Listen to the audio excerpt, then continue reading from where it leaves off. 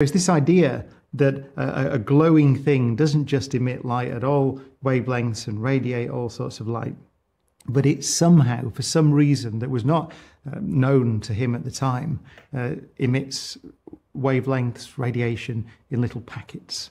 And so that, that was a huge leap. And actually, he didn't really at the time um, think that it was, he thought it was a calculational device.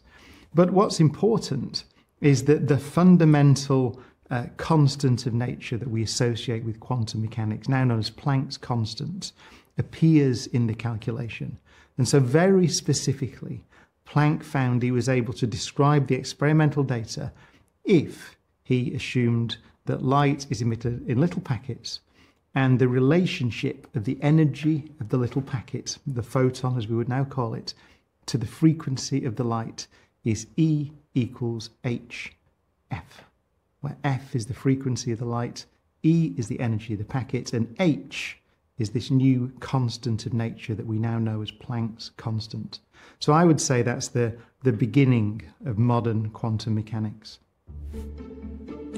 How did Einstein's work on the photoelectric effect impact science? So when Planck introduced uh, photons, um, as we would now call them, well, you get the sense that he certainly didn't believe that this was real, that light, the, the electromagnetic field, really uh, came in little packets. And he thought it was something to do with the, perhaps the way